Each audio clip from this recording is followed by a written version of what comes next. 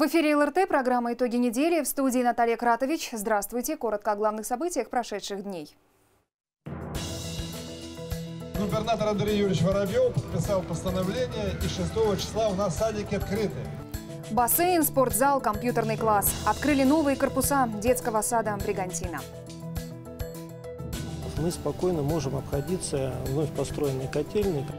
Обновленная котельная в Малаховке. Готовность объекта к зиме проверил Владимир Ужицкий. Ремонт дорог в округе. План на этот год 17 километров. Как ведутся работы? Верить друг другу. Доверие и все. Я ревности не признавала. День семьи, любви и верности. Как напоминание о главном, люберецкие семьи принимали поздравления. Дети, те, которые а, поступают в этом году в вузы, они получают дополнительные баллы вступительным экзаменам. Как получить золотой знак отличия ГТО? Обо всех условиях и требованиях в выпуске.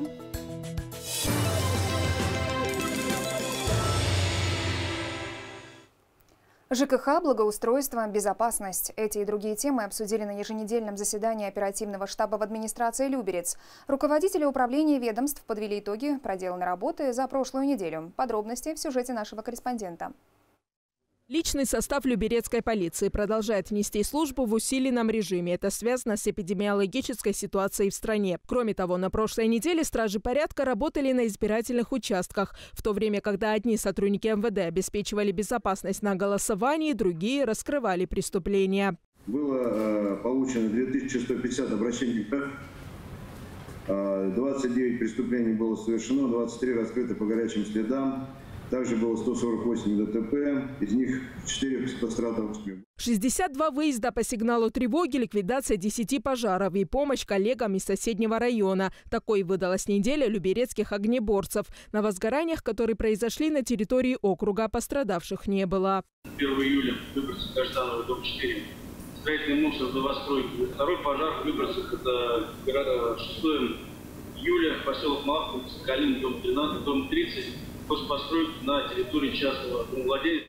В городском округе продолжают действовать антивирусные меры. Ежедневно в местах скопления людей проводится дезинфекция. Санитарной обработке подвергаются детские спортивные площадки и остановки общественного транспорта. При уборке подъезда в управляющей компании по-прежнему используют хлора и спиртосодержащие растворы.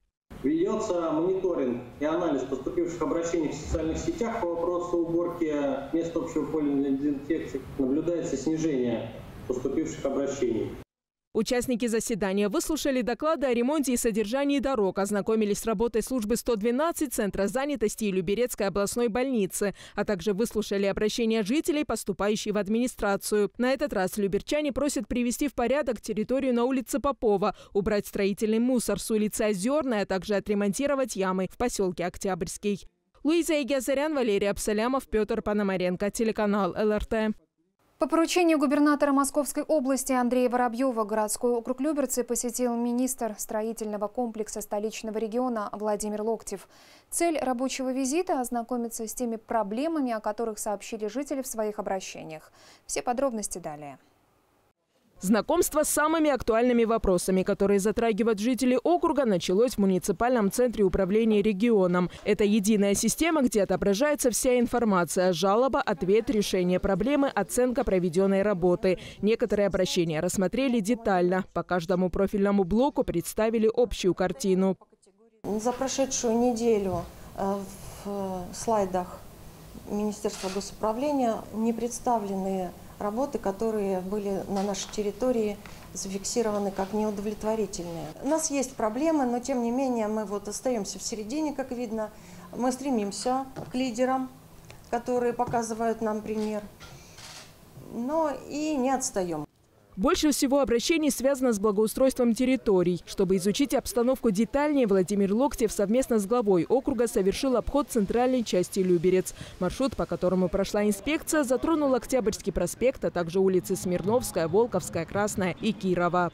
Основные проблемы – это ямы во дворах, ямы на дорогах. Сейчас начался сезон по их ликвидации. То есть мы сейчас прошли по городу, видим, что в городе достаточно чисто. Э, ямочный ремонт ну, ведется, ямы заделываются. Я думаю, что те проблемы, на которые мы обратили внимание, мы их, во-первых, проконтролируем, чтобы они были решены. Город – это живой организм, и постоянно возникают некие вопросы, проблемы.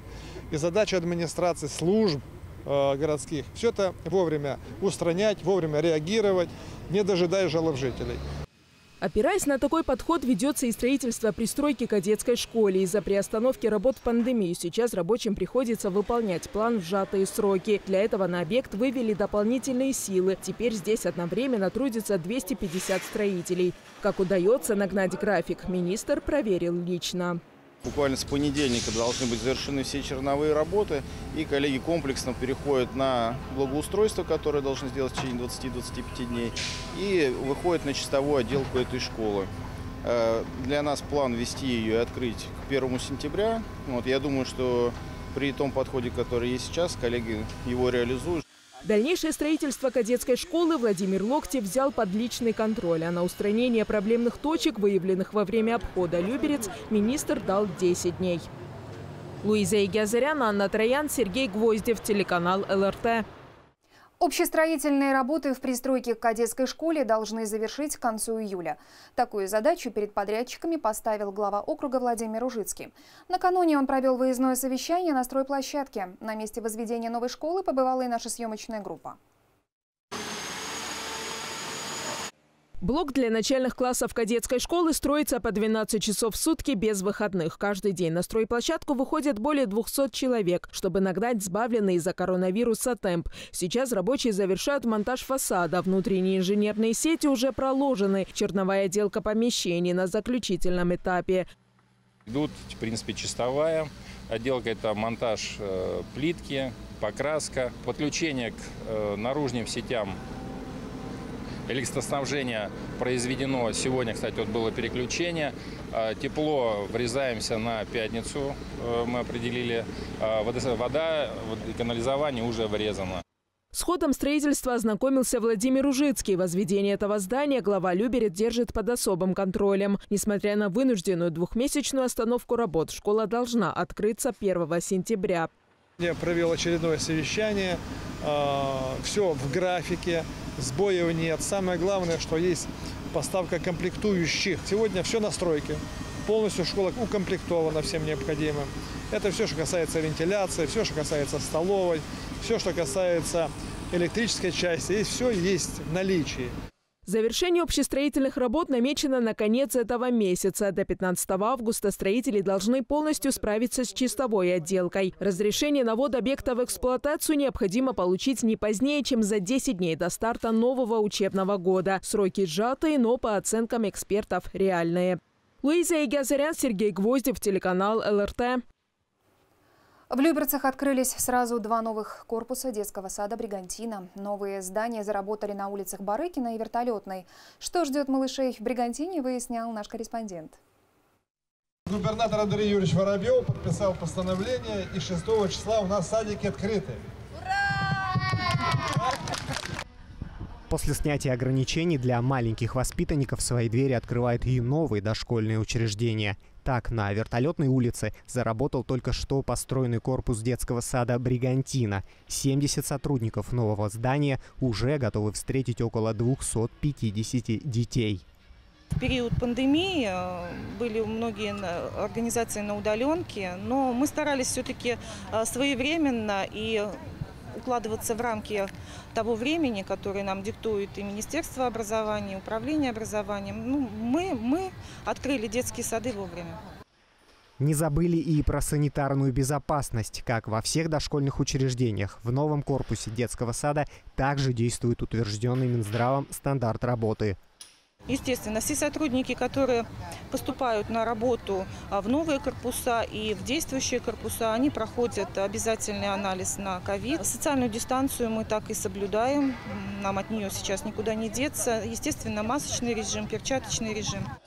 Глава округа Владимир Ружицкий посетил торжественное открытие нового корпуса и лично поздравил заведующую детским садом с этим событием. Заодно он оценил и оснащение только что построенного учреждения. Понятно, что из года в год этот садик будет хорошеть, потому что деревья будут подрастать, травка укоренится. Но само здание замечательное, оно стало, стало украшением вот э, всего то, что вот построено в данном микрорайоне. Наша маленькая задача, Елена Михайловна, с вашим коллективом, создавать все условия, чтобы детишки бежали в сад и с неохотой уходили из садика домой.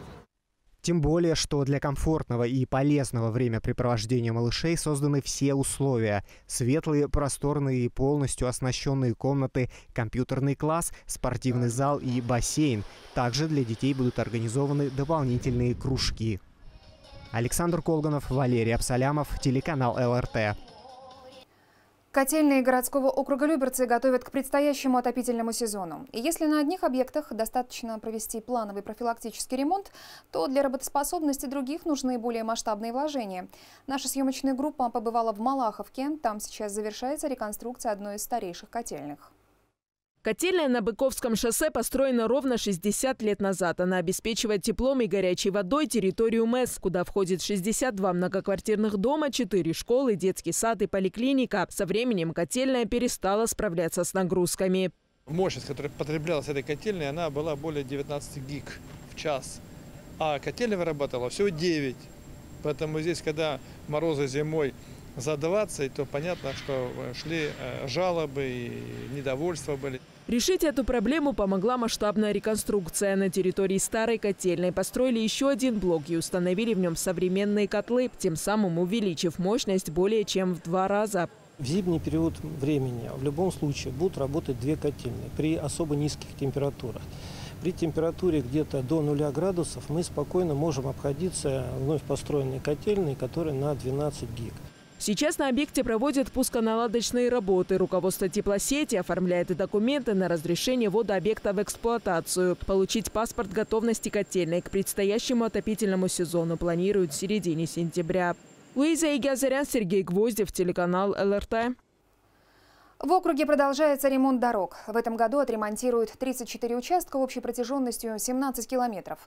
На очереди Наташинская улица. Дорожный участок длиной почти 600 метров получил новое покрытие. Самосвалы один за одним привозят горячий асфальт. Дорожное полотно площадью почти 6 тысяч квадратных метров рабочие поменяют всего за один день. Чтобы успеть в срок, на участке одновременно трудится 15 сотрудников подрядной организации.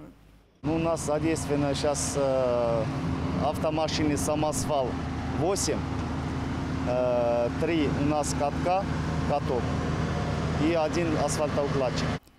Параллельно ведется ремонт и на другом участке. В Октябрьском завершены подготовительные работы на улице Пролетарская. Совсем скоро там тоже появится новый асфальт. Офис крупнейшего предприятия в России по трейдингу металлопроката работает в Октябрьском. Брок Инвест Сервис поставляет продукцию на основные стройки и предприятия страны, в том числе на объекты медицины. Именно поэтому даже в пандемию компания не приостанавливала свою деятельность ни на один день. С рабочим визитом предприятие посетил Владимир Ужицкий. От забора до небоскреба. Брокинвест-сервис – крупнейшая компания по трейдингу металлопроката, который служит основой всему, что нас окружает. Офис в Октябрьском – один из 15 филиалов. Это огромные складские помещения, где хранят металл от поставщиков со всей России. Здесь же работает производство, где изготавливают собственную продукцию.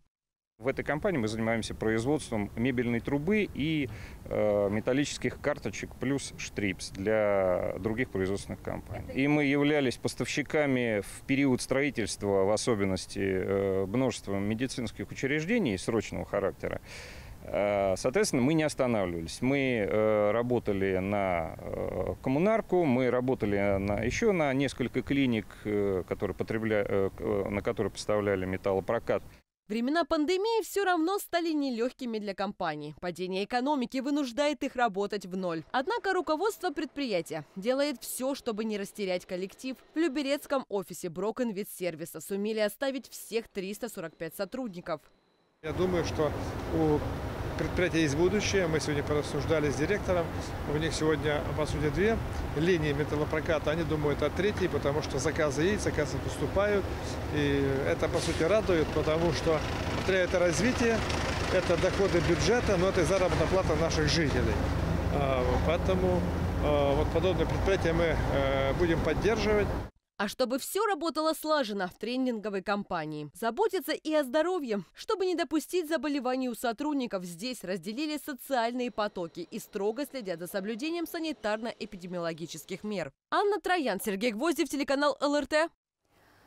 В Люберцах в штатном режиме заработали многофункциональные центры. Как и прежде, жители округа могут посещать офисы МФЦ по предварительной записи, либо в порядке живой очереди. Из-за пандемии изменились правила нахождения внутри отделения. Все подробности у Луизы Егезарян.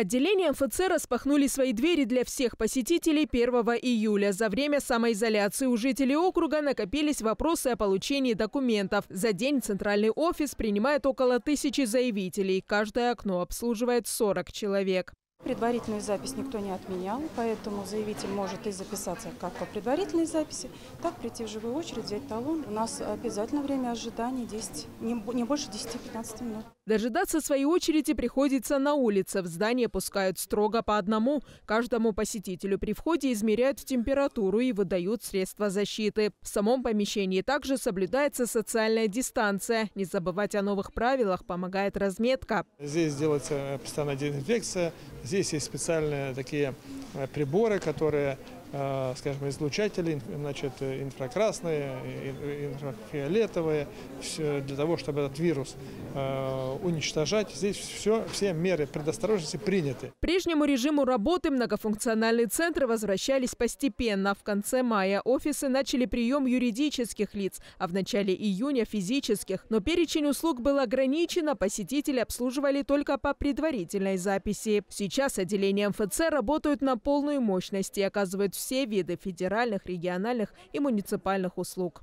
Луиза Игязарян, Сергей Гвоздев, телеканал ЛРТ. В Люберцах начала работу общественная приемная Союза патриотических организаций. Здесь помогут ветеранам военных конфликтов, детям войны и семьям погибших в боевых действиях. Как вступить в ряды общественных организаций, где и когда открыта приемная в сюжете Александра Колганова.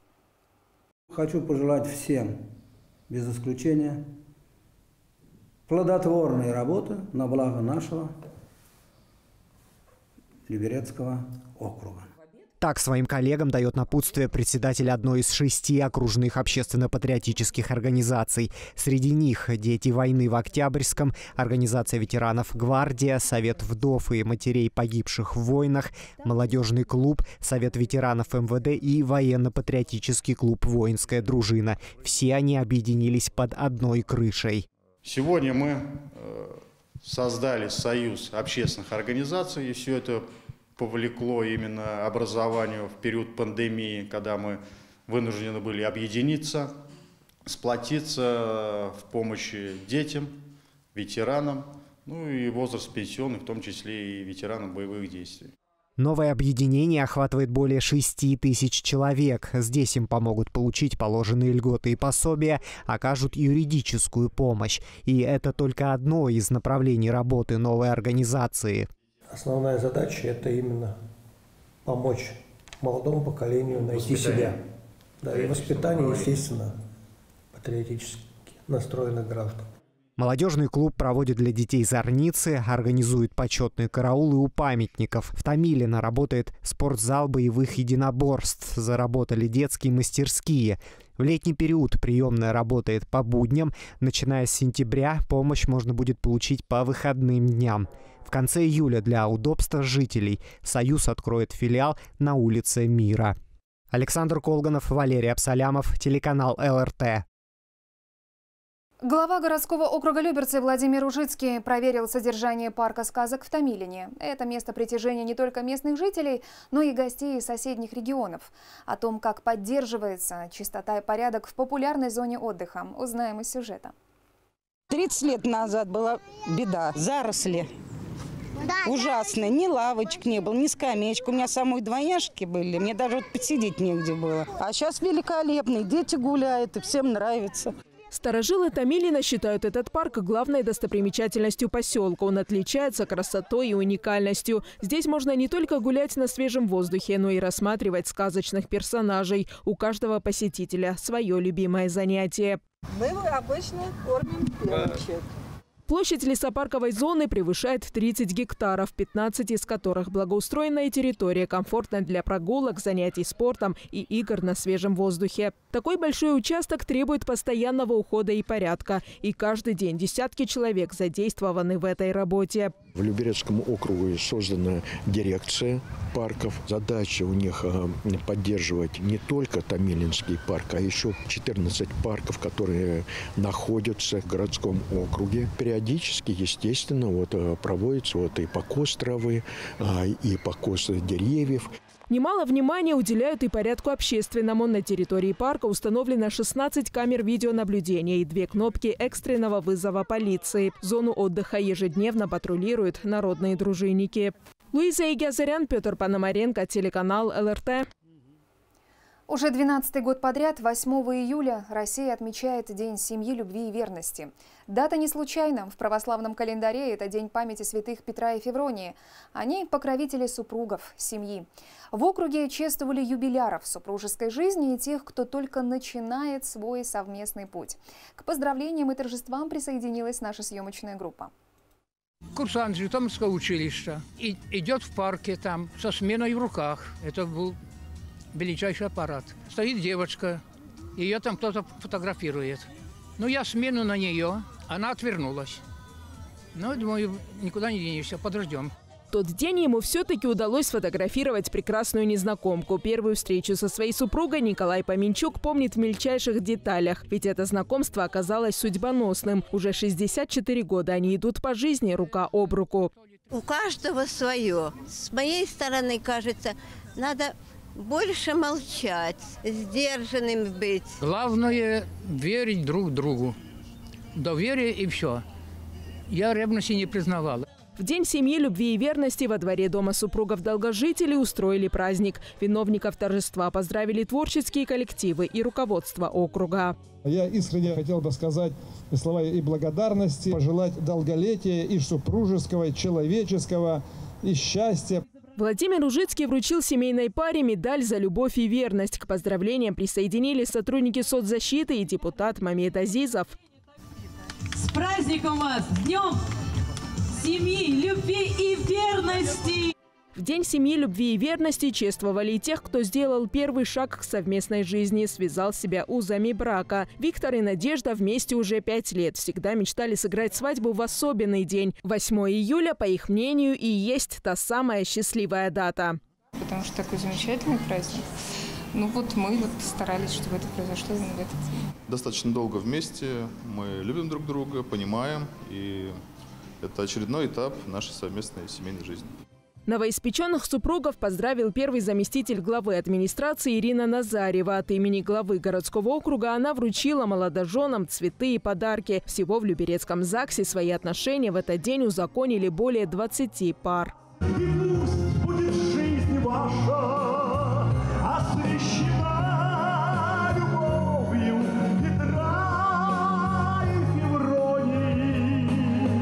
Луиза Игязарян, Сергей Гвоздев, телеканал ЛРТ.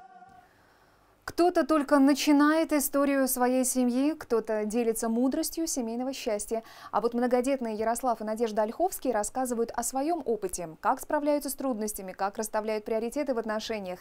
Для них День семьи, любви и верности – значимый праздник. Свою историю они рассказали нашему телеканалу. Привет! Привет, родные мои! Привет! Добрый вечер, папа. В коридоре однокомнатной квартиры Ярослава Ольховского семья встречает полным составом. Пятилетние озорники Сева и Сава, Кроха Есения и жена Надежда каждый вечер ждут возвращения любимого папы и мужа с работы. Скучаю, да, конечно, целый день работаешь. Когда какая-нибудь минутка появляется, даже могу там фотографию посмотреть с детьми, что-то вспомнить, чтобы немножко отвлечься от работы. Ярослав зарабатывает на жизнь сборкой мебели. Он один кормит семью из пяти человек. Говорит, что в рецепте семейного счастья особых ингредиентов нет. Никакого секрета нету. Как бы, ну, встретились два человека, полюбили друг друга. Не показываем там порой какие-то свои недовольства. До появления на свет двойняшек Севы и Савы Ольховские пять лет ходили по больницам. Врачи говорили, рожать нельзя. Но, несмотря на все запреты, у Надежды получилось родить сразу двоих. Имя теперь уже многодетной мамы в этой истории приобретает дополнительный символический смысл.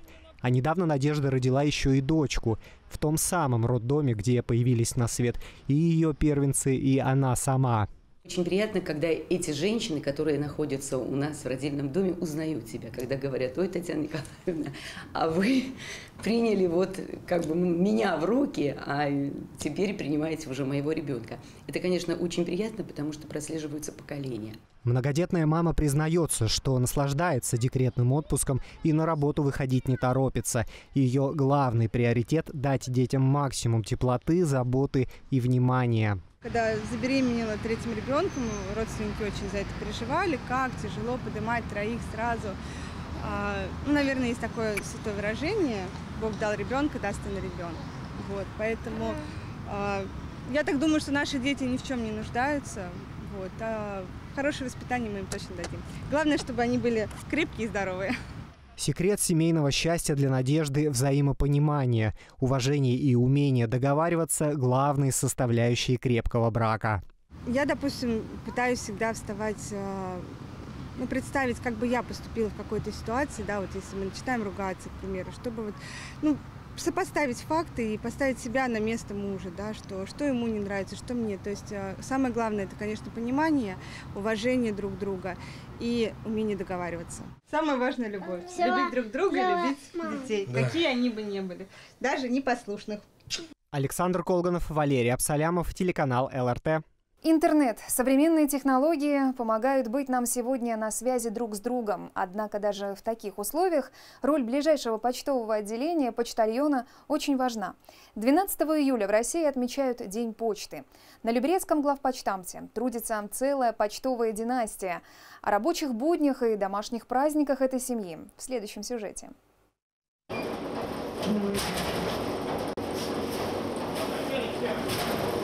Эти парни отлично знают, что такое семейный подряд. На Люберецком главпочтамте вместе с Андреем трудятся две его двоюродные сестры Елена и Ольга, которая, в свою очередь, замужем за Николаем.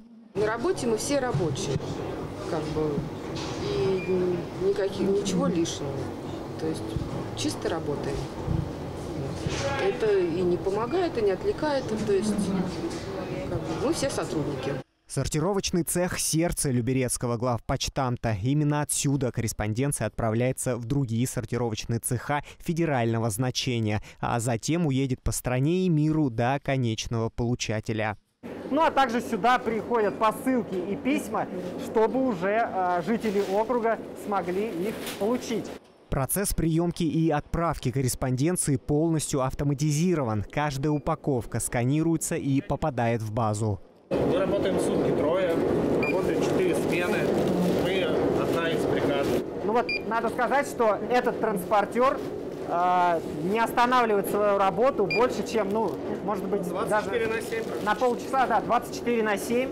Погрузка и разгрузка почты не прекращается даже в новогоднюю ночь и во все другие праздники. Посылки и письма сортируют по контейнерам. И уже после этого они отправятся по стране и по миру, чтобы найти своего адресата. Осталось только запломбировать этот контейнер, ну, чтобы посылки были в целости и сохранности. Вы можете подумать, что в век информационных технологий все давно перешли на использование электронной почты, но это далеко не так. Бумажная тоже актуальна. А, вот только с начала этого года Люберецкий главпочтамт обработал около двух миллионов простых и заказных писем. Это штемпелевочная машинка. Это тот самый штемпель, который получатель э, видит, когда э, письмо приходит к нему домой. А это святая святых почтового отделения, зал обслуживания клиентов. Нам удалось попасть туда, куда не ступала нога посетителя. Работа сотрудника почты трудная и напряженная. Именно сейчас, находясь в форме оператора связи и сидя на его рабочем месте, я понимаю всю ответственность этой работы. Елена Мартышова – еще один представитель почтовой люберецкой династии. Она уверена, что не только в быту, но и на службе все четверо легко понимают и дополняют друг друга. День Почты России, как и все другие праздники, эта рабочая семья будет отмечать вместе. Мы объединяем людей, они общаются помощью почты общение – это всегда хорошо. Александр Колганов, Валерий Абсалямов, телеканал ЛРТ. Пришло время восстановить свою физическую форму и проверить себя на выносливость. В Люберцах прошел первый фестиваль ГТО после снятия ограничений. Значок отличия попробовал получить и наш корреспондент Александр Колганов. Люберцы – территория спорта. Всем удачи. С открытием! Испытать удачу, а заодно и себя на прочность и силу готов сегодня Андрей Лаптев. Нормативы ГТО он сдает впервые. Цель у 16-летнего юноши амбициозная. Андрей пришел за золотым знаком отличия. Сдача прошла хорошо, на мой взгляд. Я выполнил, получается, 4 из 5 норматива на золотую медаль. А, не смог немного дотянуться там по некоторым причинам на подтягиваниях, а так, в принципе, все хорошо было. 40, 41, 42. Именно столько раз нужно отжаться 16-летнему парню, чтобы получить золотой знак отличия. Ну вот в свои 32 года могу с уверенностью сказать, что это требует хорошей физической подготовки.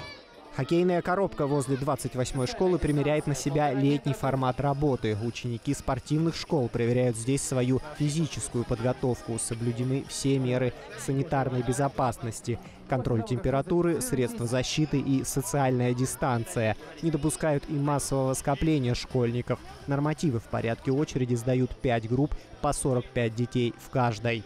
Мне осталось совсем немного для этого знака, и, э, в принципе, очень на это надеюсь, потому что все равно это как лишняя похвала для самого себя. ГТО – это не только проверка себя на выносливость. Золотой значок поможет Андрею и другим спортивным абитуриентам поступить в институт. Дети, те, которые а, поступают в этом году в вузы, они получают дополнительные баллы вступительным экзаменам а, до 5 баллов, в зависимости от вузов. Это тоже существенное такое дело, и ребята с радостью, особенно выпускники, сдают нормативы ГТО и получают знаки отличия. Люберцы в пятерке лучших среди областных округов и по количеству участников, и по результатам сдачи нормативов ГТО. Свой, возможно, золотой знак отличия, подписанный министром спорта России, Андрей получит через три месяца. Спорт можно назвать, в принципе, как смысл жизни для меня, потому что я посвятил ему 11 лет, даже 12 уже получается, и ну, не хочется терять то, что было наработано стольким временем, потому что ты живешь этим, ты дорожишь этим, для тебя это, ну, то есть в спорте у тебя и трагедии, и победы, это твой мир, в котором надо состояться. Сдать нормативы могут не только школьники, но и местные жители. Испытания для каждой возрастной категории разные. Кроме отжиманий в нормативах, подтягивания, упражнения на пресс и гибкость, прыжки в длину и бег. Чтобы проверить свою готовность к труду и обороне, надо зарегистрироваться на официальном сайте ГТО и выбрать ближайший центр тестирования. Александр Колганов, Валерий Абсалямов, телеканал ЛРТ.